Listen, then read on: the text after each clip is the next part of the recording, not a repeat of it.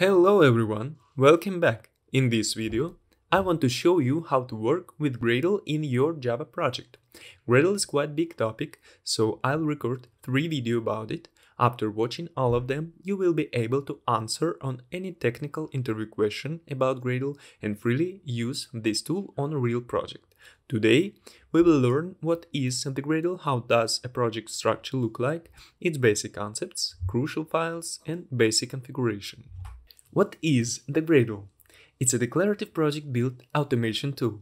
I want to repeat what I've said in a previous video about Maven, that build tools like Ant, Gradle and Maven make building process simpler. It automates everyday developer goals like code compilation, test running, dependency import, and executable file creation. Declarative build tool means that developer just tell to this tool what he needs to do, and such build tool knows how to do it. It knows where to download dependencies, how to resolve dependency conflicts, where to put executable file, and many other things. And Gradle is used in such well-known projects as Spring and Hibernate.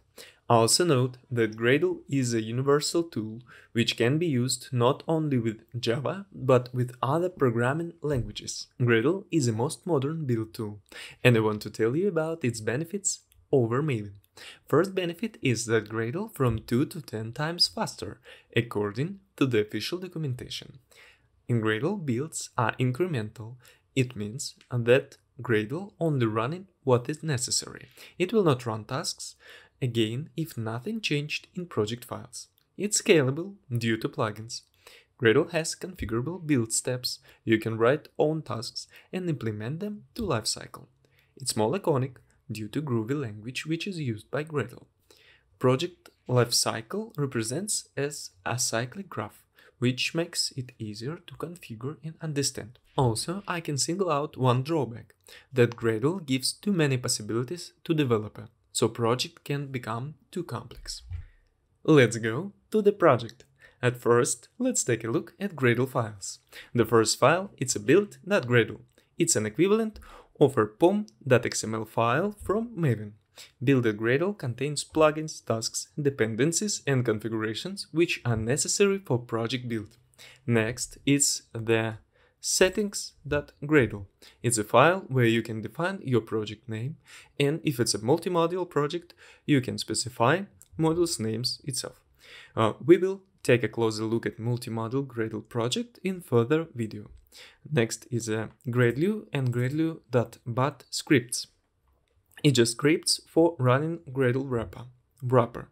Gradle wrapper files itself are stored in Gradle wrapper folder it's a package with Gradle itself. It makes possible to run your project without installing Gradle on your machine. We will take a look at it a bit later. And next, it's a build folder. It's an equivalent of target folder in Maven, which contains compiled classes, archived file of project such as Java, ER, reports about tests running, etc. As you can see, the project structure itself almost like in the Maven, src, main, Java. I want to draw your attention that Gradle allows you to change project catalog structure. For example, if you write this code in build.gradle file, let's refresh, source sets main java src dirs src slash java, you can see that now Gradle can find our main class application because we have different folder structure. Let's commit it again and now you can see that the main file is found by Gradle. Now I want to tell you what is a Gradle wrapper. It's a kinda useful thing. As I've said previously, Gradle wrapper it's a Gradle itself which is packed and located in your project sources at folder with name Gradle. And it allows you to run tasks on a machine where Gradle is not installed. Also, you can use special version of a Gradle wrapper. Let's imagine that we want to build some project on a new machine where installed only Java runtime environment. Uh, with Gradle wrapper, you could do it from the box. Just locate our terminal at folder where our project stores and instead of writing commands as Gradle build it won't work because Gradle is not installed, you can just change keyword Gradle to dot slash gradlew on Linux or Mac or gradlew.bat on Windows to run any tasks you need. We will try to do it in the further videos when we will learn tasks. Let's take a closer look at main file for setting up your Gradle project configuration. It's a build.gradle file. The first block is plugins. By default, Gradle doesn't know on what programming language your project is written and how to work with it. So, for our purposes, we need to point out that we need Java plugin. Note that almost every plugin changes the default Gradle lifecycle. We can find the Gradle lifecycle, it means Gradle tasks, in a special Gradle toolbar on the right side of an IntelliJ IDEA.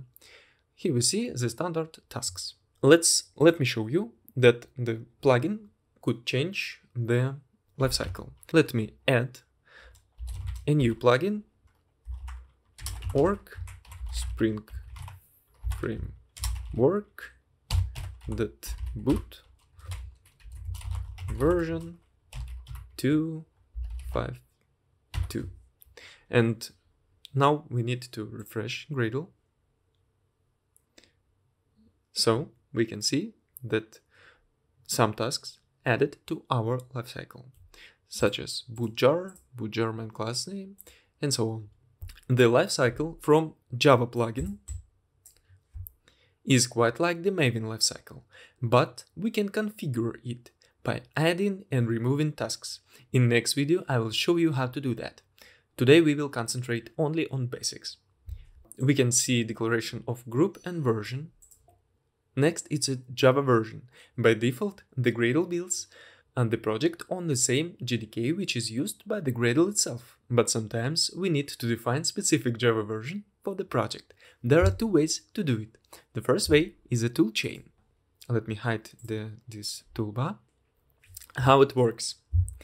If Gradle found JDK with necessary version on the local machine, it will use this JDK. Otherwise, it will download open JDK with necessary version to Gradle home directory, which locates in Windows on path C users, uh, name of the user, Gradle, JDKs.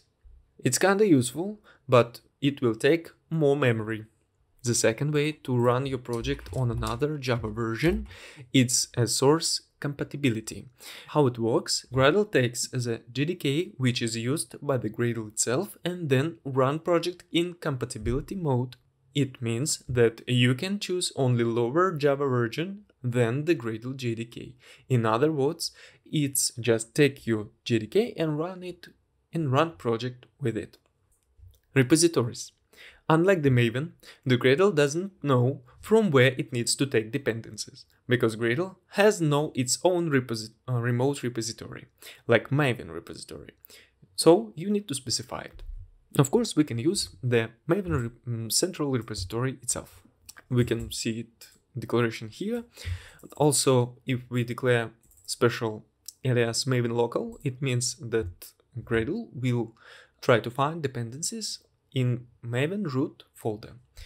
Note that Gradle starts searching dependencies uh, from top to bottom uh, how they declared in repositories block.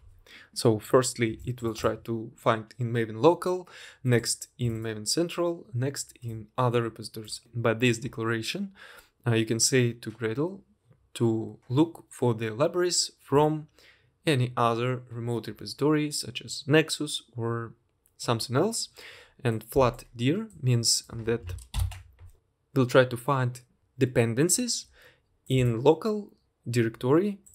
Here is with the name libs. For example, if we will create in our project directory with name libs, it will try to find dependencies in there too can be useful for some project if you have some special dependencies. Next is the encoding. It means that our project will run in UTF-8 encoding. Variables block. There are two ways of variables declaration. First is with def keyword.